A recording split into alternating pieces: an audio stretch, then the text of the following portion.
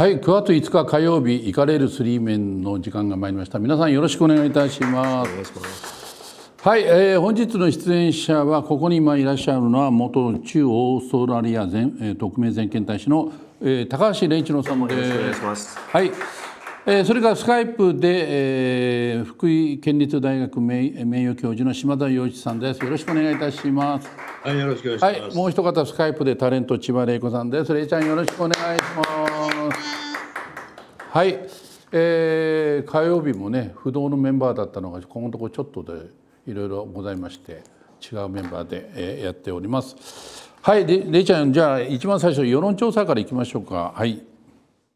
えー、岸田内閣の支持率が38.7%、1.6ポイント上昇。岸田内閣の最新の支持率が8月に行われた前回の調査から1.6ポイント上昇し、38.7%だったことが最新の JNN の世論調査で分かりました。不支持率は前回の調査から0.6ポイント下落し58.1%でした。政党支持率では自民党の支持が前回調査から1.9ポイント上昇し32.4%日本維新の会は0.6ポイント下落し6.1%立憲民主党は0.3ポイント上昇し4.9%でした。これ JNN っていうのはまあ要するに TBS 系列という意味ですけども8月調査よりも1.6ポイント上昇したってこれはね僕ら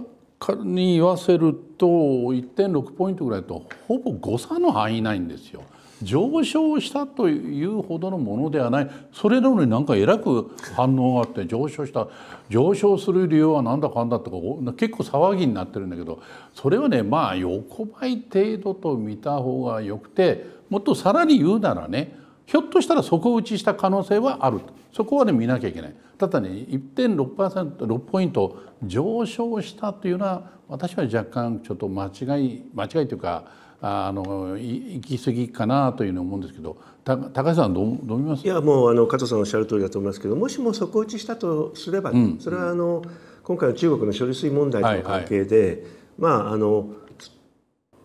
岸田政権がまあああいう形で中国の反対にもかかわらずやったと。かつその後のまの処理もそこそこできているということの反応もあるかもしれないんで、むしろやっぱりそういう対中外交をきちっとやることがいかにね岸田政権の今回について今後の行方について大事かということを示す一つの調査かなというふうにまあ、調査時点とその日中関係のとの因果関係がちょっとこれは詳しいこと分かんないんですけどもただこれを調査とは別にね後でいっぱい出てきますけれども日中間のそのあの水産物をめぐるその中国側がね全面禁輸してみるかんぬとかなりひどいことっていうやってきた割には日本側は実はあの、福島のあの魚の価格も下がってないしもうそれそれからあの、えー、いろいろその皆さんの協力があっていっぱい魚を食べてやろうじゃないかという国民の方が多くてですねまあまあこれまでのところうまくいってるんじゃないのかなという感じしますけどね。ね。島田さんも同じこと聞きますけどまあ1.6ポイント上昇ということについてのね、うん。ええ、まあ島田さんなりのそのご見解というのをちょっとお聞かせ願いませんか？まあ、答える人もあの暑さで頭がぼぼやっとしてんじゃないかという気もするんですが、はい、まああのねえー、6割の人がね、ええ。えー、岸田氏を支持しないと、はい、いう答えが出てて、うん、えー、そしてまあ大体どの党もね、えー、横ばいという状況ですけれども、はい、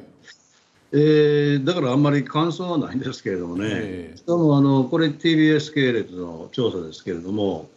えー、数日前の別の調査ではね、えー、えー、次の選挙の比例どこを入れますかという質問で、はいはい自民党と維新が並んだっていうのはね、20%でしたっけね、あれ。そう、ええ、だからねあの、アメリカにね、あの皆さんご存知のリアルクリアポリティクスというサイトがありますよね、はいはい、あの主要な世論調査の平均値を毎日発表しているサイトですけれども、だから日本でもああいうふうにね、えー、主要調査の平均値を発表するっていうサイトもね、あっていいんじゃないですかね、なんでないのかちょっと不思議なんですけど。うん。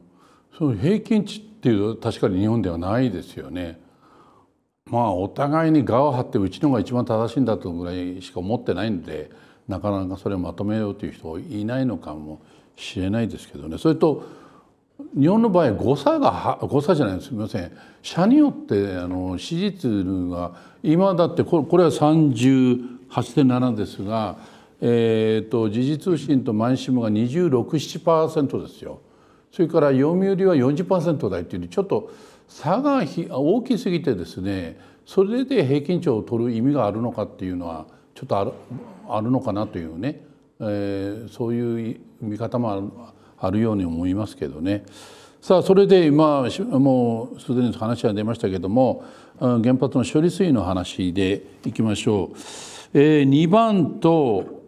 それからレイちゃん3番も読んでもらいましょうか同じような話だから。はいえー、処理水放出漁業者支援水へ総額1007億円。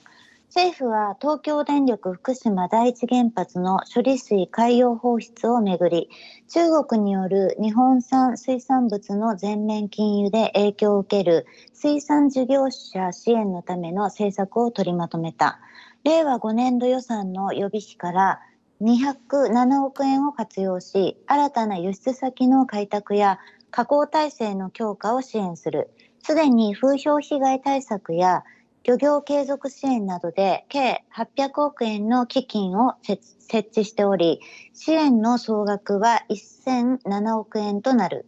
政府の水産支援政策発表遅すぎないか、処理水放出から10日以上経過。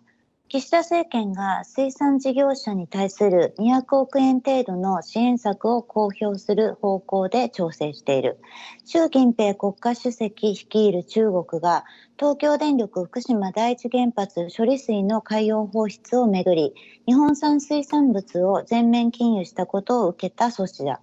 岸田首相は先週、支援策の政策パッケージを提示したが、処理水放出開始は8月24日で具体策が出てくるのが遅すぎる。日本人学校への投石など中国の反日暴挙に対するけじめもつけられていない。これ高橋さんね、まあ、最初の方あのはその事前に風評被害対策等々が800億円あるので200億足すと全部で1000飛び飛び7億円というそういうふうに考えるとそれほど巨額じゃないけど逆に風評被害で800億円もつける必要があるのかよというね。そこは一番の私は疑問に思ってるんですよ800億円あったらさあそこの福島で取れる魚何遍でも全全部全量かあの買い取りますよ。だって800億もあれば。そこはちょっと違うかなと私は思うんだけどどうでしょうか、ね、まあねあの原発処理水の問題それはあの漁業者の方々の苦しい立場っていうのはありますからあの支援はすればいいと思うんですけどただあのやっぱり中国との関係ということではね漁業者も含めてやっぱりサプライチェーンの再構築の中で、うん、その支援金を出すのはいいけれども結局中国頼みみたいなところが残るとしたらね、ねうん、それはいずれにしてもこれから変わっていかなきゃいけない。でそれはやはり漁業者の方々も認識していただいた上でそこをサプライチェーンを中国向きじゃなくするための支援金であればねそれはあの意味があるんではないかと思います。それからその中国へのけじめという意味では後から出てくるかもしれませんけど私は2つとにかくもっと早くやるべきだと思うのは一つはやっぱり WTO の提訴をね待たずにすぐにやるべきだということ。それからもう一つはあの本件は科学的に日本の方が優位に立てるわけですから、はいはい、これあの私の古巣ですが外務省はもっとあの広報活動をねキャンペーンを張るべきだと思います。ますでそれは欧米のマスコミあるいは専門家と一緒になってね堂々と中国に公開討論を挑んでうん、で応じなければそれは応じない方が悪いと。いうキャンペーンをどうしても強く打たないのかなという印象は持ちます、ね、あのねその件では、まあ、高橋さんは外務省の OB であるけどもう現役じゃないから申し上げますけども私はね外務省役所としてはね今回は、ね、早かったし結構頑張ってるっていう印象あるんですよ。よくないのは大臣ですよ。うん、林大臣何やってるの？こんな時になんで中東3カ国ポーランドに行く必要あるんですか、もっと外務大臣が残って葬式を取ってそそういうところには副大臣2人いらっしゃるわけでそこに手分けしていけばいいわけであってね、うん、大臣がね1週間以上日本を留守にするっていうことは私は言語道断の話だと、うん、そうで今高橋さんおっしゃったように欧米も巻き込んで日本に味方につけてそういうことをやるというのは大臣がだって電話しないとあちこちに、で林大臣ねあの英語お上手なわけですから先頭に立ってキャンペーンをやられればいいわけですよね、ねうん、私はそその問題だと思うんですよね。島田さんにも同じことをお尋ねしますがその講談の部分で言うとね私いろんな調べて分かったのは、あのホタテ北海道とか青森がほとんどホタテなんですがホタテの中国への輸出がなんと年間460億円もあるんだそうですよ。でこれが全部切られたからって大騒ぎになってるんですけどもでもこれもまたよく聞いてみたら日本から殻付きのままホタテを中国に輸出して中国でその殻を取って、え、冷凍の貝柱にしてそれがそれがアメリカとかヨーロッパ各国に再輸出されてんだそうですよ。ならば日本でそういうことを最初からやればいいわけじゃないですか。中国に全部大きなでお願いしといて儲けだけ日本が取るみたいなことを考えているとしたら今こそね中国をサプライチェーンから外すこれは絶好の機会だというふうに私は思うんですけど島さんいかがでしょうか？いやまさにねその、えー、殻を剥くような工場ね日本に建てるあるいは最終的にはですね、えー、中国で加工したものをアメリカに輸入している部分が多いわけですから、はい、まあ、アメリカにね、えー、作るっていうことも含めてですね。そういうあの構造転換のために、えー、この800億プラス200億っていう費用は使うべきでね。でその構造転換をやったにもかかわらずまた将来的にですねえー、中国が買ってやろうと言ってきたからじゃあもう中国にどんどん売って中国市場に頼るというような商売をする業者が出てきたとしたら今度同じことやられた時にはねそういう業者はそれも全部自分でね損かぶってもらわないといけないし、はい、それからあの林外務大臣の話出ましたけれども彼あの単に役に立たないっていうだけじゃなくてね明らかにまあ逃げてますよね。はい、あの5月の広島サミットでえー、中国が経済的威圧行為に出てきた場合には G7 中心に自由主義権が結束して、対抗措置を取るということを決めてるんですよね。で今回まさにねこれモデルケースでもあるわけで、うん、だからあの議長国である日本がね大いにその G7 に呼びかけて、共同対処をしましょうと。その共同でこう買い付け、はい、あるいは、はい、制裁も含めてね。でね、あの一つ非常に注目されるのが、ラーム・エマニュエル駐日大使ね、はいはい、まあ、LGBT 問題ではもう非常に評判が悪かった人ですけれども、うん、彼、盛んにね、福島行ったり、うん、あるいはあの中国がね、これ、本当、言いがかりつけてきてると、日本が正しいんだということを、この今ね、あの次々、アメリカの議員団がね、あの断続で日本を訪れてますけれども、そういう超党派の議員団とも一緒になってね、うん、これは中国けしからんと、日本を助けようということを発信してるんですよ。いわばね、アメリカ側から、おい、日本声を上げろよと、俺たちはバックアップする用意できてるよという発信があるのに、岸田政権がね、しっかりこう G7 に向けてリーダーシップ取らないから、それが無駄打ちになっちゃってるんですよね。とんでもない話だからその今おっしゃったようにその G7 サミットでそういう首脳間の合意合意があるわけですから林大臣はそれこそ各国の G7 および EU の代表に対して電話してこういうのをやろうというふうに呼びかけてで自分がそのそういう案を考えてこういうのを G7 外相として発表したいというようなものをやんなきゃいけませんよね。でそのためにやっぱり日本に残ってそういうことをやややるべきで中中東そら中東も行くのも意味はあるんでしょうが副大臣で足りるようなことを大臣がわざわざ言って1週間以上も日本留守るする方が私はねこれは非常に良くない罪だというのを思いますよねやっぱりね。いやこれだから中東行く時間があるんだったらね、ええ、ワシントンとか EU 回れるわけじゃないもちろん、ま、だからそっちに回ってね G7 に働きかけるってことをやるべきでかつポーランドにも行くわけでしょ、はい、そしたらヨーロッパに行くんだから、ええ、あのブリュッセルの EU の本部とかね、ね。そっちにも行くべきなんですよね。全くそういうことですよね。はいじゃあ次4番行きましょう。親中派はい。はい、えー、二階司法中処理水で暗礁首相期待も早期は困難。自民党の二階俊博元幹事長の中国訪問に向けた調整が暗礁に乗り上げている。超党派の日中友好議員連盟会長として9月にも訪中する方向だったが、東京電力福島第一原発の処理水海洋放出への反発が収まらないためだ。悪化する日中関係の打開策として岸田首相が強い期待感を示したが側近議員は様子を見るしかないと話しており早期訪中は困難な情勢だこれねあのあの総理がねわざわざ二階元幹事長に会って今は二階二階先生が中国に行って話してもらもらわなきゃいけないということを総理が直接口説いたと言うんですよ。それでもって中国に蹴られてるなとこれは結構もうなんていうか日本のメンツ潰されてますよね面と向かって。それは岸田総理もそうだし二階元幹事長に対してもそうだし中国から来なくていいって言われちゃったわけだからそれはね私はね非常に問題だしそしてもう一つ岸田さんに対して私は文句言いたいのはこういう時に二階さんといえばほとんど親中という私は美中と言いたいんだけど美中の頭目とほぼ思われるような方を中国に派遣して中あの中国政府と何か身の花話ができるかとできませんよ。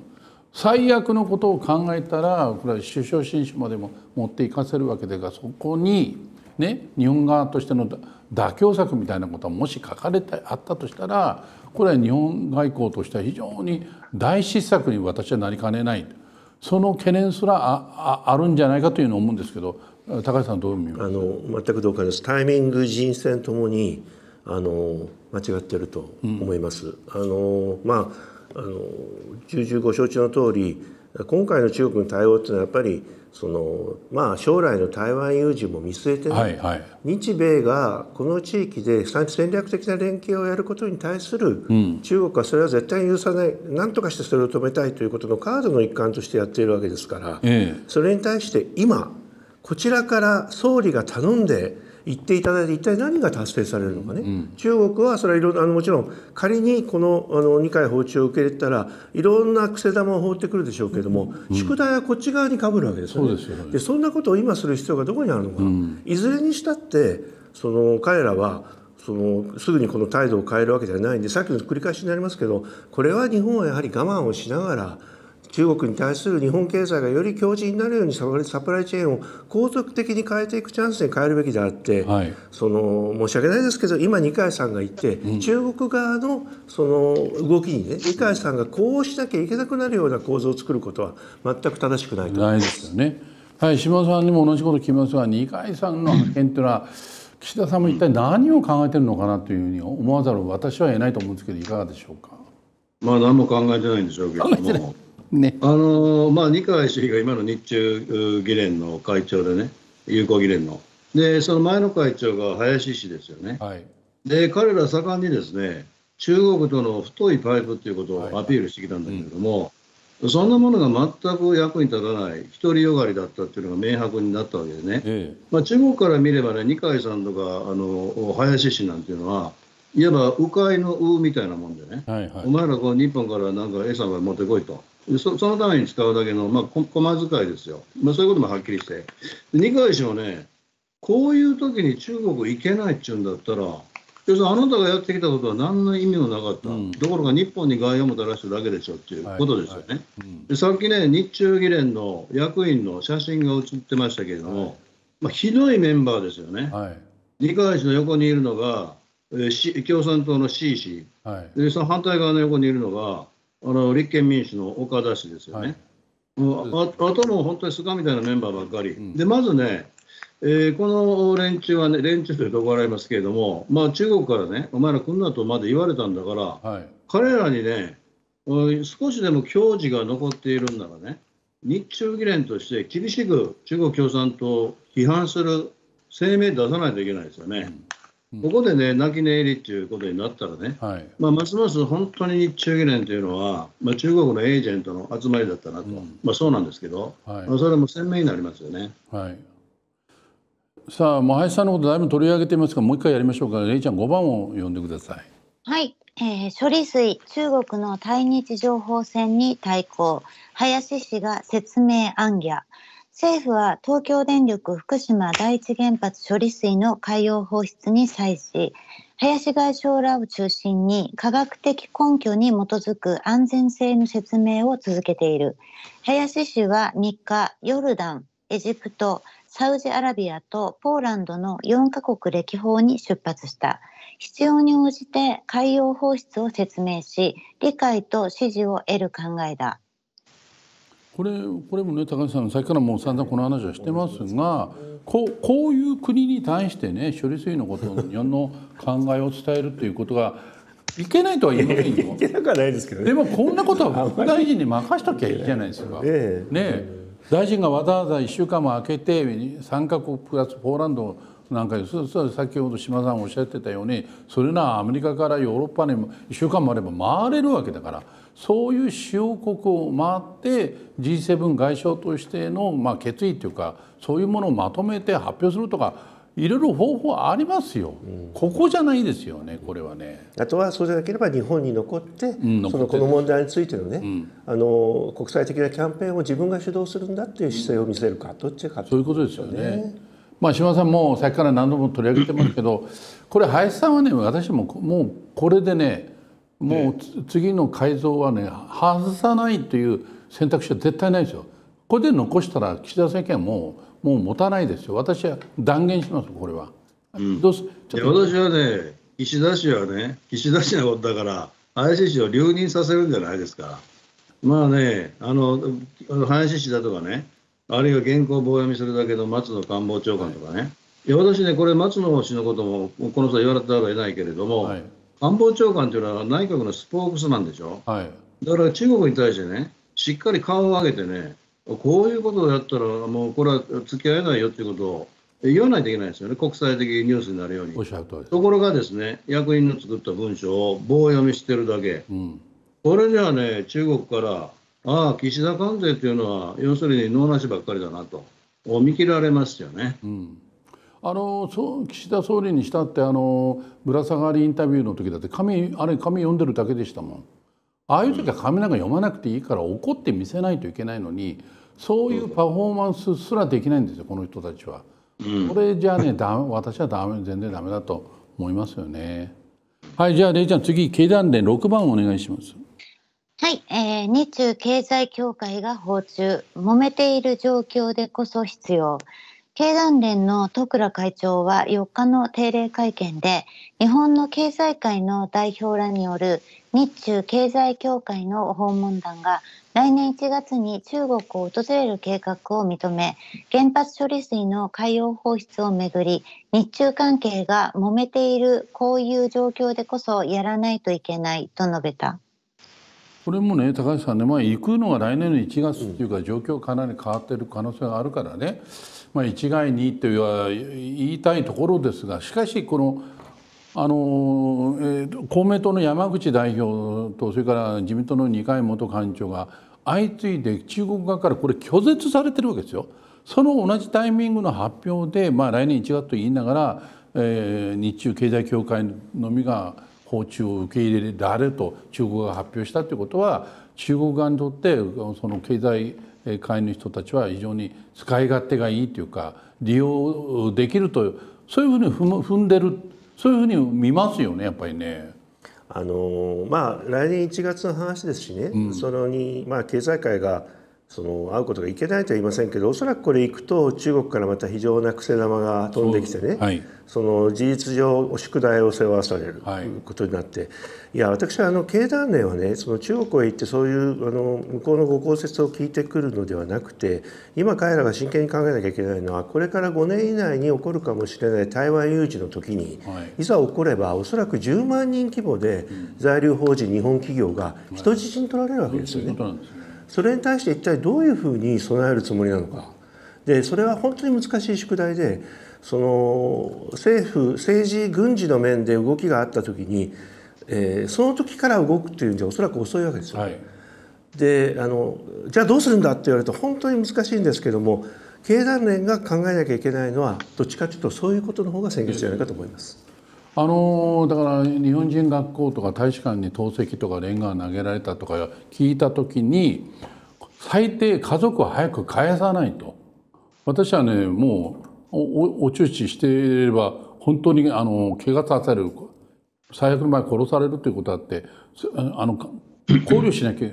いけない状況にあるんだと思うんですよ。だとしたらとにかく極力返せる人は早く返すとそういう状況を作らないとですねおっしゃる通り切羽詰まったら今度は帰れなくなります人質に。であのご存知の通り反スパイ法でね、はい、今の反スパイ法っていうのはもうものすごく広く網をかぶせられますから、はい。はい。うん、あの逮捕されてそうですよ、ね、でどこ行くかわからないと。で日本が台湾有事の時にアメリカに協力をしようという姿勢を示したら必ず中国はそういうところに行きますから、ね、あのまずとにかく中国に在住している日本の企業人の数を計画的にやっぱり減らしていくことが必要ですよね。うんうん、でそういうことに経団連はもちろんこれは水面下の動きだけれども右足立場を発揮するべきであの表向きの訪中でとにかく揉めてる時こそ話をしたいというそれだけでは十分役割を果たしていることにはならないと思います。うん、ね、はい、島さんも同じこと聞きますけども、まあ、えー、まあ高橋さんが今おっしゃったように尽きるんじゃないかと思うんですけど、いかがでしょうか？はい。そうまさに今経済界が進めるべきはね、脱中国ですよね。で、そこをまあ本当加速させないといけない。であのまあ、台湾有事になった場合もちろんですけれども、今、中国もね、不動産バブルがはじけて、経済的に非常に厳しい状態、はい。えー、若年労働者、まあ、あの若い層ね、40%ぐらい失業率があると言われてる、でそういう場合ね、こういろいろこう不満を外にそらそうというときに、これ、日本がね、やっぱり標的にされるんですよね。これまでもこう継続的にね、人質を捉えてる拘束されてる国っていうのは日本だけでね。で、アメリカとかはやっぱり怖いからあんまりやらないわけですよ。で、あの、まあ、有事に近い状況になって、まあ、G7 揺さぶるためにね、どっかの国民を人質に取ってやろうというとき、これまあ、絶対アメリカ人はやらないですね。これ、日本人やってきますよ。でそういうことも含めてね、まあ、私、以前からあの主張してるんですけれども、はい、まあ、日本の企業でね、どうしても中国に、えー、人員を駐在させないといけないという場合には、アメリカ国籍を持った人を社員に雇ってね、それを中国に送ると言ってるんですけれども、だからまあそういったね、えー、ことも含めて、やっぱり戦略的にね、脱中国っていうのを考えていかないといけないですよね。なるほどね。はい。次はですね、レイちゃん、7と8、ちょっと長いけど、続けて読んでくれませんか？はい、えー、中国で進む海鮮離れ、自国産にも警戒心で鮮魚店悲鳴。処理水放出の影響で数日の売り上げは放出前の3分の1にまで落ち込んでいるという。現地の鮮魚店は消費者の間では海鮮自体が危険だという風潮が広がっている。この状況が続くなら廃業も検討しなければならないとため息をつく。中国共産党機関紙人民日報系の環球時報の元編集長故釈信氏は SNS に現時点で中国沿岸の海産物に問題はない。パニックを起こさないでほしいと投稿し、消費者に冷静な対応を呼びかけた。中国、習政権が自滅。処理水問題、経済崩壊で無能ぶり露呈。中国が福島第一原発処理水の海洋放出に反発し、日本各地の旅館や飲食店などに迷惑電話攻勢をかけている。経済が崩壊し始めた習政権の焦りと無能、トンチンカンぶりを見事にさらけ出した格好だ。経済苦境から国民の目をそらすために処理水反対キャンペーンを展開しているが団体旅行解禁で来日した中国人が日本のテレビでお寿司が美味しいと公言しているのだからまさに喜劇である。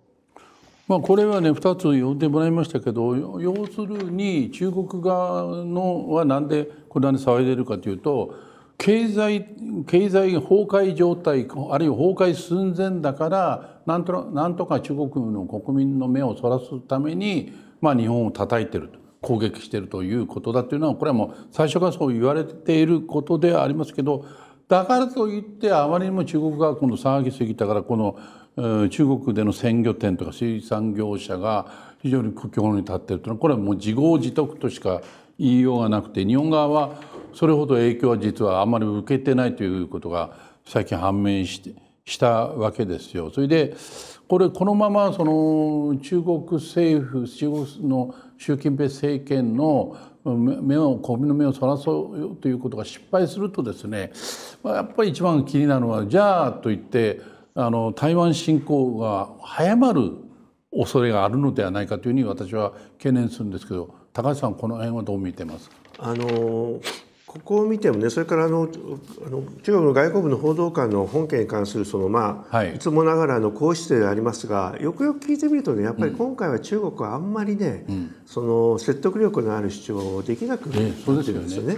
そそれはチャンスでもあるんでさっきも言いましたけどもあの感情的ではなくてきちっと科学的な根拠に基づいたうまいキャンペーンを張ればあの中国のこういうやり方に関するそのいかにね無理無理筋なのかかつ高圧的なのかということを国際的に知らしめる状況ができますのであの私は例えばあの前のね、はい、あの安倍総理のスピーチライターだった谷口さんみたいな、はい、ああいう方をねうまくこうあのアドバイスを得て、えー、まあ外務省いろいろやってると思いますけどももう一段あのこの件に関する中国のその理不尽ぶりを冷静にかつ欧米のマスコミにも分かるような形で日本の主張を訴えるキャンペーンをやるべきだと思います。うん、そうですよね。はい、島さんいかがでしょうか？これは岸田さん周辺のね発言を聞いてても、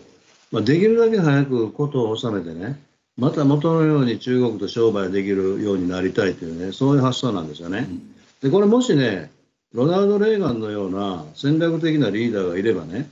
これ中国共産党体制潰すチャンスだと。はい、日本に対してこういう理不尽なことを仕掛けてきたっていうのをね大いに国際的なテーマにして、うん、各国がこれ一斉にね脱中国を進めようということでねただでさえ今経済がもうガタガタになってる中国共産党体制これをですね根底から揺さぶってやろうと、まあ、そういうねやっぱり戦略感覚を持ったリーダーが今出てこないといけないんですよね。そうですねうん、全くそう思います。